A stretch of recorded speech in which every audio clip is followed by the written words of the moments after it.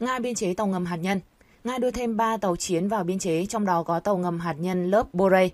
Hải quân Nga ngày 29 tháng 12 thông báo đưa thêm 3 tàu chiến vào biên chế. Tàu ngầm hạt nhân General Lysimos Suvorov lớp Borei là tàu lớn nhất và mạnh nhất trong số 3 con tàu. Tàu ngầm lớp Borei vốn được coi là xương sống trong lực lượng gian đe hạt nhân trên biển của Nga. Tàu General Lysimos Suvorov dự kiến sẽ gia nhập hạm đội Thái Bình Dương của Nga.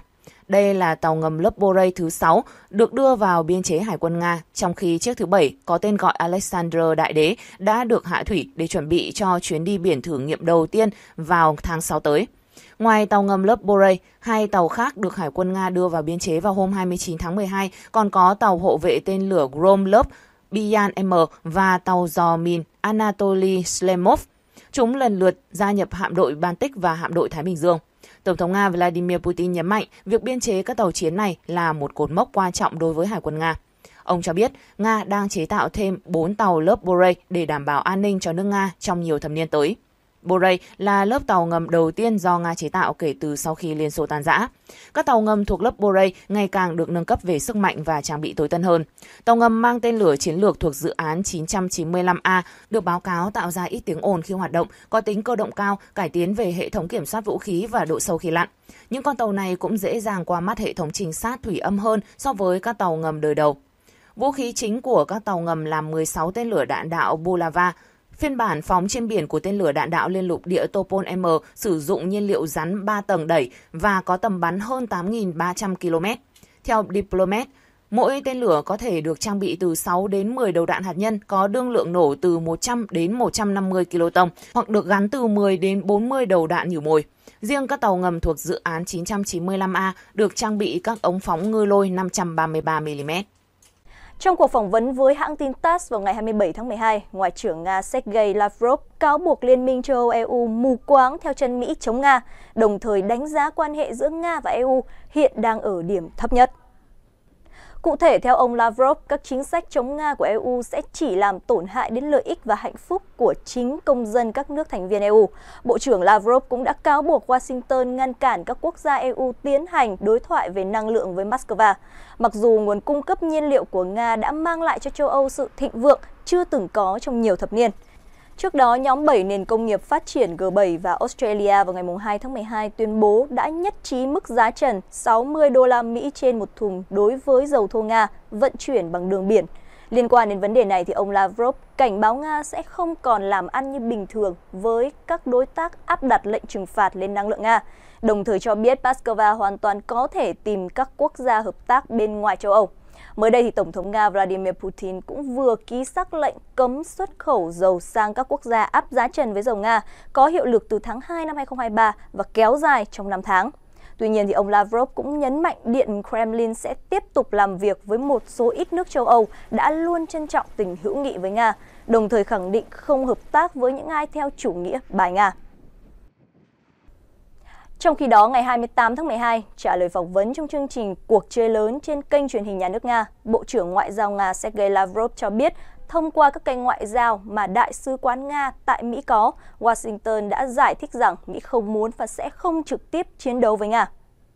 Theo ông Lavrov, Nga muốn giải quyết tình trạng xung đột càng sớm càng tốt nhằm chấm dứt cuộc chiến mà phương Tây chuẩn bị và cuối cùng đã nổ ra nhằm chống lại Nga thông qua Ukraine đồng thời cho biết bảo vệ tính mạng của binh lính và thường dân là ưu tiên hàng đầu của Moscow. Liên quan đến việc chuyển giao hệ thống phòng không Patriot cho Kiev, ông Lavrov cho biết Washington không có kế hoạch cử các chuyên gia quân sự của mình tới Ukraine. Tuy nhiên, Bộ trưởng Ngoại giao Nga cũng đồng thời nhấn mạnh việc quân đội Mỹ đã can dự sâu vào cuộc xung đột ở Ukraine và không có kênh liên lạc nào giữa quân đội Nga và quân đội Mỹ để ngăn ngừa sự cố xảy ra. Trước đó, thì trong chuyến thăm của Tổng thống Ukraine Volodymyr Zelensky đến Washington, Mỹ đã thông báo cung cấp gói hỗ trợ quân sự mới cho Kiev với tổng trị giá là 1,85 tỷ đô la Mỹ, trong đó có tổ hợp phòng không Patriot. Đây là lần đầu tiên Mỹ cung cấp hệ thống này cho Kiev. Theo Tổng thống Mỹ Biden, tên lửa Patriot sẽ là chìa khóa giúp bảo vệ vùng trời Ukraine. Hệ thống phòng không Patriot có thể giúp đánh chặn một số lượng lớn tên lửa và máy bay không người lái tấn công của Nga. Tuy nhiên, Tổng thống Biden cho biết sẽ mất một khoảng thời gian hoàn thành chương trình huấn luyện cho binh sĩ Ukraine trước khi họ có thể vận hành hệ thống Patriot.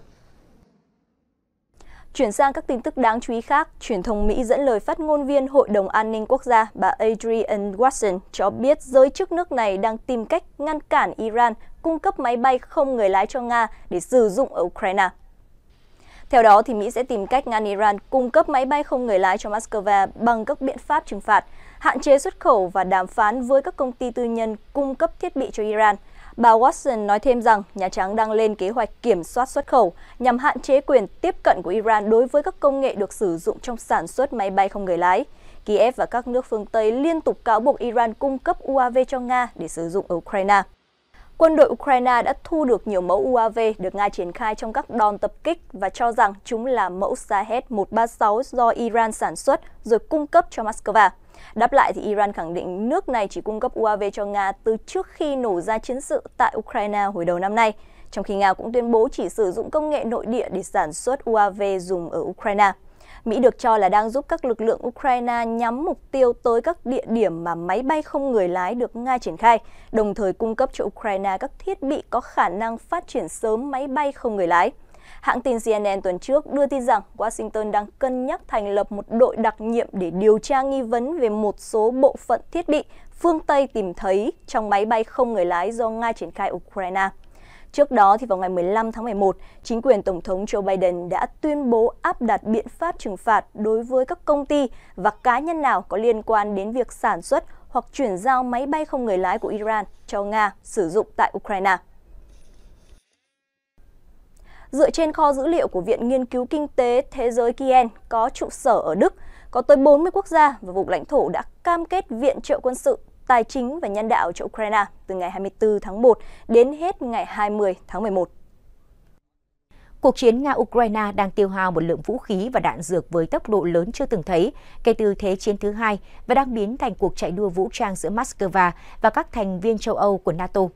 Cụ thể, theo số liệu của Viện Nghiên cứu Kinh tế Thế giới Kien, có tới 40 quốc gia và vùng lãnh thổ đã cam kết viện trợ cho Kiev, bao gồm các thành viên EU, các nhóm nước công nghiệp hàng đầu thế giới G7, cũng như Australia, Hàn Quốc, Thổ Nhĩ Kỳ, Na Uy, New Zealand, Thụy Sĩ, Trung Quốc và Ấn Độ.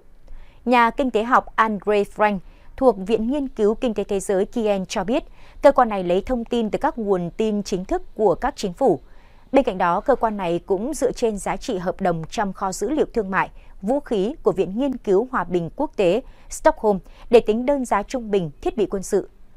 Về dòng viện trợ quân sự, Đức đứng thứ ba sau Mỹ và Anh với 2,49 tỷ đô la Mỹ. Theo Viện Nghiên cứu Kinh tế Thế giới Kien, các quốc gia thành viên EU đã dành tổng cộng 9,18 tỷ đô la Mỹ cho viện trợ quân sự. Trong khi đó, hôm 21 tháng 12, chính quyền Tổng thống Joe Biden công bố gói viện trợ quân sự trị giá 1,8 tỷ đô la Mỹ cho Kiev. Đáng chú ý, gói viện trợ này sẽ bao gồm một khẩu đội tên lửa phòng không Patriot và bom dẫn đường chính xác cho các máy bay chiến đấu của Ukraine. Xét về quốc gia cung cấp vũ khí nhiều nhất cho Ukraine, Anh đứng đầu bảng. Anh liên tục thể hiện sự ủng hộ cho Ukraine khi Bộ Quốc phòng Anh hồi cuối tháng 11 thông báo đã chuyển giao tên lửa dẫn đường có độ chính xác cao Brimstone 2 cho Ukraine.